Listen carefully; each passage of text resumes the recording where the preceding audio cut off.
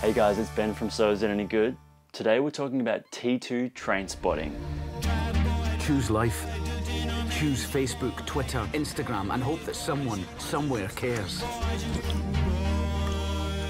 There was a part of me that really didn't want to like this film. The original is so iconic, such a lightning in a bottle moment in British cinema. But this new installment never tries to top the original.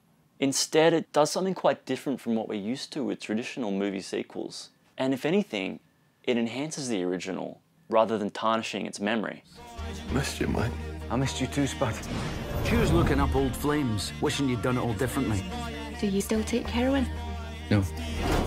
So let's talk about the story. It picks up with Renton returning to Edinburgh for the first time since the events of the end of the first movie, where he essentially left his mates high and dry and took off with a bag of drug money.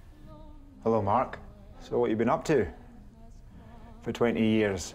When the film starts, you're not quite sure why exactly Renton's come back and started reconnecting with all these people from his past, which obviously include Spud, Sick Boy, and the psychopath Begbie, who's actually now locked up in jail. The true reasons for his return kind of slowly boil to the surface as Renton falls back in with his old gang, and sure enough, back into old habits. I can't feel again, Mark. You know, I need to detox the system. Oh, Spud detox the system.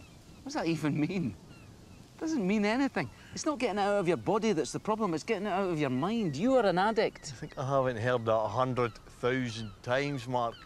The genius of Danny Boyle and his returning screenwriter John Hodge is that they embrace the nostalgia head on. So it's a part of the movie, it's, the, it's part of the DNA of the film.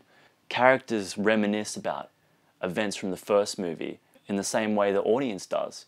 And of course, the soundtrack is kick ass. And we've kind of come to expect that from Danny Boyle. But there's such a great mixture of tracks on here. There's old retro hits, there's new indie up and coming bands on there, film music from Bond films, which is obviously bit of a reference to the Sick Boy character who's obsessed with Bond. But there's also some great remixes and reprises of probably the most two well known tracks from the first film, Born Slippy and Lust for Life they're kind of woven through the whole film and this is the kind of movie you're going to walk out of and you're going to want to listen to that soundtrack immediately.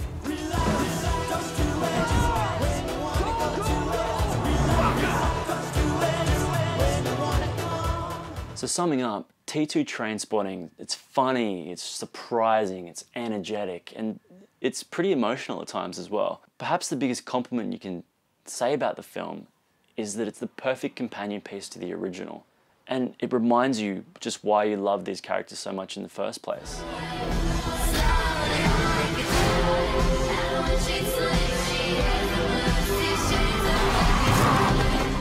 So, is it any good? Uh, yes.